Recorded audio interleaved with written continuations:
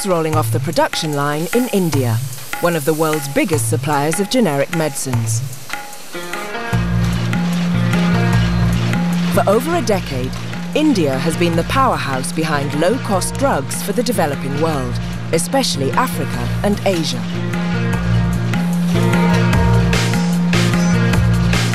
India's $4.5 billion pharmaceutical industry is now at a crossroads, following a new law introduced in January 2005. It's opened a highly charged debate, with opinion split right down the middle. Life has been to India to investigate.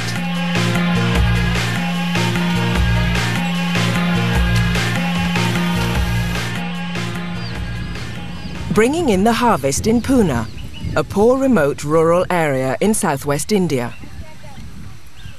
It's in villages like this, and in similar communities around the world, where the change in India's drug patent law is going to have the most impact. Some people don't have jobs. When you're ill, you have to decide what you're going to spend the money on. Do you eat? Do you spend it on education? Or do you spend it on medicines?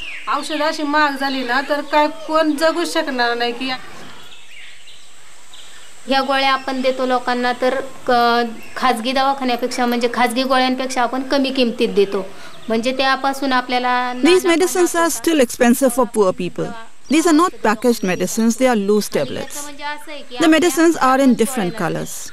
Yellow for diarrhea, for fever or a cold, white tablets, so people can recognize the right tablet.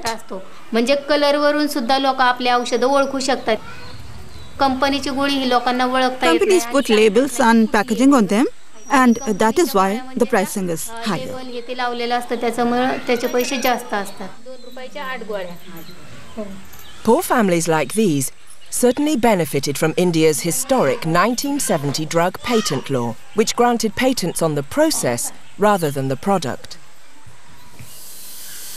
This means drug companies in India could legally produce medicines that had been researched and introduced by international firms simply by a slight change in the process. They could sell them at half the price, but still make big profits. The head of one generic drug company says the new law will undermine the production of low-cost drugs and people will die as a result. What did Indira Gandhi say in 1981 at the WHO? That there should be no patenting of life and death, and medicines should be free of patents. She said that in 81. Why isn't the government of India following her ideals today. It's not just a question of Indian consumers, Indian patients be, being denied of new drugs. It's also a question of many poor African and Asian countries being denied drugs that were coming from India at much lower costs. What do the international drug companies, whose business interests are going to be better protected under the new law, say to that? Will this change mean, as the new law comes into force, that the supply of affordable drugs to the world's poor is about to come to an end? Certainly not. In fact, on the contrary, uh, you will be mortgaging the future for the present. By destroying patents, you will discourage research. You will also ensure that for our children and our children's children, we do not have the drugs for the future diseases. And that will be the real killer. Neither, according to Mr. Shahani, does this mean the end of the road for generic drug companies. Two thirds of Indians, he argues, still have no access to medicines, and that is a huge untapped domestic market. If you look at the future for generic companies in India, uh, there is potential both in the domestic market as well as the global market. If you take Indian opportunity, uh, today only 35% of the population has access to medicine that we know. So there is a potential population of 65% which needs to be access, have access to medicine. So these generic companies, provided there are good delivery systems available, can access this. And this is over 700 million people. So there's a domestic demand-led opportunity here. It certainly is not going to spell the death knell for generic companies, including, including Cipla. The government also defends the change in the drug patent law, not least because it will help improve India's own research and development into new drugs. Now, with having a product patent regime, it gives the people of India access uh, to the highest quality medicines in the world. It gives the people, of, it gives the Indian industry uh, a comfort that their own research and development will be rewarded. And at the end of the day, we must build up with one billion people. We need to build up our own industry. The recent history of drug patents in India has had a significant impact on world health. The 1970 Act, with the patent emphasis being on process rather than product, revolutionized production. It mushroomed, and the competition between companies drove prices down. 80% of the drugs in the Indian market are made by Indian companies. And not only that, your manufacturing capability has uh, increased to the level where you can export to so many countries. Indian industry in the pharmaceutical sector is the fourth largest in the world. Uh, in no other manufacturing sector does the Indian industry have that kind of position. Now, clearly, this was uh, something that the 1970 Patents Act allowed uh, and helped uh, happen. At the time, this was politically important for India. The country wanted to be independent and self sufficient in a number of key areas, including drugs. But because it was so easy to copy drugs with a simple change in the process, critics labelled it the copycat drug industry. The drugs and pharma industry grew by copying. Anytime a new molecule came from US or Europe, uh, within 18 months to two years, it will be copied here and production will start because of our strength in process chemistry and process engineering. That is how our industry grew.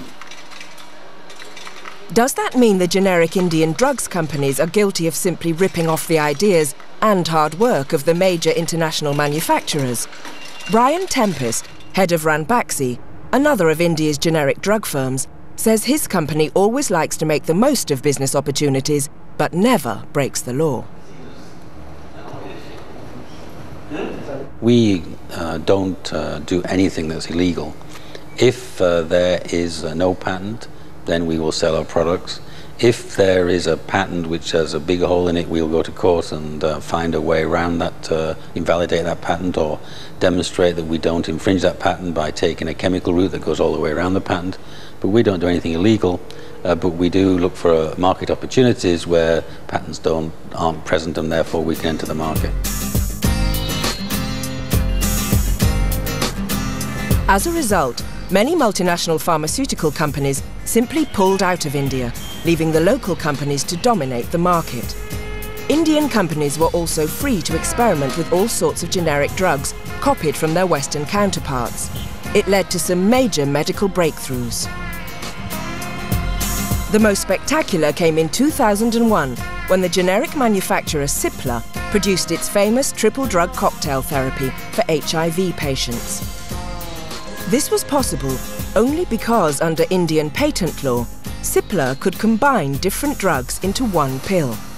Before that, HIV patients needed to take about 20 different tablets, all controlled by individual patents. With the triple drug cocktail, it was easier to take, and most important, it was much cheaper. In the question of affordability and feasibility of antiretroviral therapy, we've seen a miracle in the last five years, the like of which we've never seen, I think, in medical or public health history. Five years ago, antiretroviral therapy cost 20 to 30,000 US dollars per patient per year and involved taking 20 to 30 pills per day. Immensely expensive and immensely complicated and difficult to comply with. Today, antiretroviral therapy under the best circumstances costs about $150 per patient per year and involves taking two pills per day, one in the morning and one in the evening, and they're the same pill, and each pill contains three different drugs. Now that is a revolution, the like of which we've never seen. WHO made a statement that in the world today, one million people are being treated for HIV. Although six and a half million should be treated, only one million are being treated.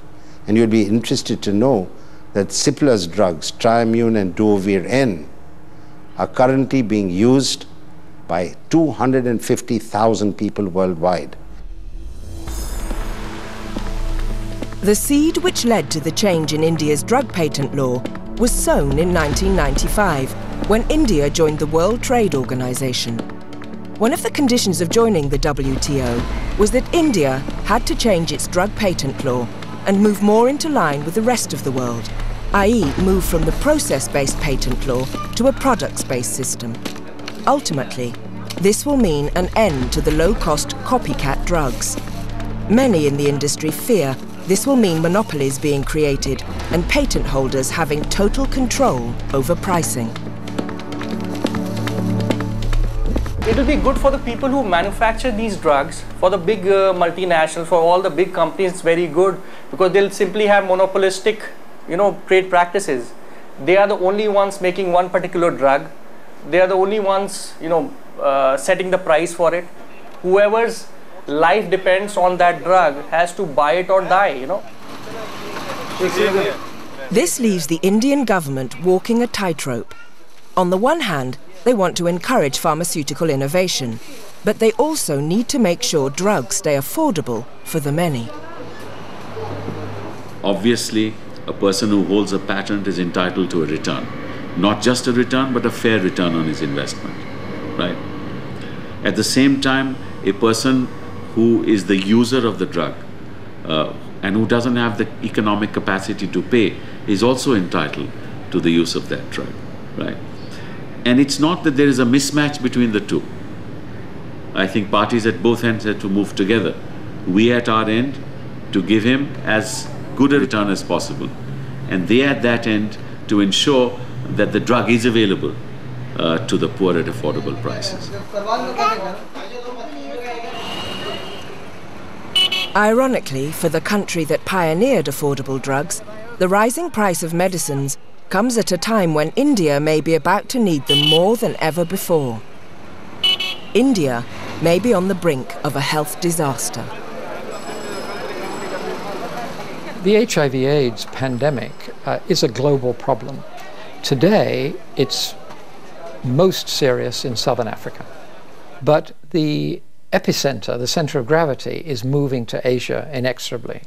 And the two biggest epidemics in the world are very likely to become India and China. So India has a huge need to try and curtail and avert now what is a rapidly expanding and serious epidemic among one billion people. If true, the Indian government's response is not encouraging. There is no health crisis as such in India. See, compared to other countries, you see the prevalence rate. India, for a lot of diseases, is much, much lower than most other countries. But due to the sheer population, the numbers are there. But the prevalence is, example, uh, HIV. The prevalence of HIV in the country is just 0.91%, where the prevalence rate in South Africa is 23, Zimbabwe is 26%, Botswana is 37%, and from some neighboring countries like Thailand was at one time 16%. So compared to that, India just 0.91% is just nothing. For over 15 years, India has been largely self-sufficient as a manufacturer of generic pharmaceuticals. Low costs means it's also been a major supplier of affordable drugs to the rest of the developing world. But following changes to India's patent law, can that continue? The main battleground will be over the development of future drugs as multinational companies begin to re-establish research and development operations in India. The Indian government believes the country's cheap research expertise is what will attract them. Drug research has become extremely expensive. Now we talk about up to 15 years to put a molecule into marketplace. We talk about 1.5 billion dollars. I mean, that is going to be unaffordable, uh, even not just for poor in India, but even the rich in the USA. And therefore, companies will be always striving to lower costs while maintaining quality and excellence. And I believe India is the destination. But the head of Cipla, the company responsible for the revolutionary AIDS triple cocktail drug, says against the multinationals, Indian companies will find it almost impossible to compete. Please understand that a company like Cipla, we invested, say, 20 million dollars in so-called R&D last year. Pfizer invested 7 billion dollars in R&D. How can I compete? Do you know what is the R&D budget of India?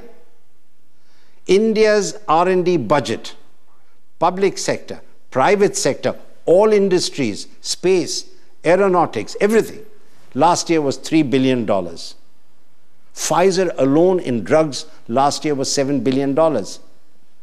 Where is, you know, give us a level playing field. To really compete, some Indian drug companies are joining forces with the global giants. For example, Ranbaxy, a big Indian firm, has teamed up with GlaxoSmithKline. Ranbaxy argues the change to the drug patent law is the best way forward. They ask, if companies can't benefit from their discoveries, where is the incentive? Are patents important to uh, drug discovery? Well, I think uh, that um, you know at the end of the day, people invest in R&D because they want to get a return from it, and it's a high risk and it's a high return, and therefore you do need that intellectual property in order to um, generate an incentive to invest in R&D of medicines. So I think it's quite likely that there would not be the sort of breakthroughs of medicines if there wasn't a, a, an era of intellectual property protection. High risks and high returns are obvious concerns for the drug manufacturers. But what about the patients? Financially, they are faced with making huge sacrifices. We have many patients whose families sell off their whole house or land even to get them treated. Despite the fact that we keep telling them don't do this because cancer patient you never can be sure whether they'll live or not if the government does intervene, then they may ensure that drugs prices do not go beyond a certain limit. But whether government will be able to do that or not, we don't really know. But the government commitment is pretty clear. They will provide low-cost medicines for those that need them. As far as healthcare is concerned, uh, this country is committed to supplying drugs at affordable prices to the poor. If we can't do that, then we, we cannot possibly claim to have taken care of the concerns that the poor have. But those actually working in the health system have doubts about that commitment. India's track record, they say, does not stand up to close scrutiny. Instead of increasing its investment in health, the government is actually pulling out. The WHO recommended expenditure on health is 6% of GDP. At this point, India spends 0.9% of its GDP on health. This is affecting the poor. How come then the drugs become so expensive that they are not available for the common person? When we are talking of patents and we are talking of product patents, who are the people that we are talking about? Who's going to get wiped out? There are also those who seriously question the assumed link between the new patent system and the development of new drugs. One of the world's leading authorities on intellectual property says evidence suggests patents do not always lead to breakthroughs. Indeed, he says it's possible they hinder innovation rather than encourage it. There is significant um, academic work showing that in many cases patents may block rather than promote innovation. Patents have become stronger, but in fact the innovation is declining in a very substantial manner. In some cases, sharing of knowledge will lead to more innovation than appropriation of knowledge. If you promote competition, then prices will uh, go down. If you restrict competition on the basis of a patent system, then you have a problem. Professor Correa also points out big drug companies have to answer to their shareholders. They must make a profit. And that usually means working on drugs people want and can afford. Clearly, investment by multinational companies in research and development is focused on diseases that affect the rich people. Um, they are not uh, interested in uh, investment in uh, diseases that prevail in developing countries because there they haven't got a significant market. What concerns senior health experts is that the change in the drug patent law could have a serious impact on India's ability to deliver on the Millennium Development Goals. Well, the relationship between the Indian patent law and the MDGs potentially um, has to do with whether the Indian patent law turns out to have a negative effect on access to low priced antiretrovirals. If it does turn out to have a negative effect on access to low cost antiretrovirals, then it will very seriously and adversely affect the achievement of the Millennium Development Goals. Because turning around HIV AIDS and TB and malaria, by the way, is a central and important Millennium Development Goal on which a number of other Millennium Development Goals rest. You can't achieve the education goal if your school teachers are dying of HIV AIDS faster than they're being trained, as is the case in a number of southern African countries today. There's also an issue about the social value of drugs currently under development. Today, it's more about curing baldness or improving sexual performance because that's what people in rich countries want and can afford. Drugs for killer diseases don't bring in quite so much money. I think for me it's frightening that 10 or 12 people today are deciding what are the kind of drugs that need to be researched because clearly those drugs are being researched not because of the health needs but based on how much profits they can, they can bring in. That's why you have research money going into drugs for baldness or Viagra. But the last drug for tuberculosis was developed something like 30 years back. When you deny people cars or washing machines, they don't die. When you deny people uh, drugs, they die and they die in millions. But the head of Novartis in India points out that his company should not be expected to invest in developing drugs that won't make money. India has over 35 million diabetic patients, another 35 million non diagnosed, 70 million patients. And today we do not have heat resistant insulin, which means insulin cannot be transported into the interior, or if it is transported, it is ineffective. So there has to be encouragement to do some research to make heat insulin insulin. Now, if this is not being rewarded or it's not patentable, nobody will go in that direction because innovation has to be rewarded. But regardless of business plans and making profits, India is now going to need affordable drugs like never before. Will they get them? Please understand what is the disease pattern in India today. There are 80 million cardiac cases, 110 million mental health cases, 60 million diabetics, 50 million asthmatics, 50 million hepatitis B cases. One in three Indians has got latent TB. The World Bank themselves have said that India by 2015 will have 35 million HIV positive cases approximately half that in, in the world. Do you sincerely believe that we can afford a monopoly?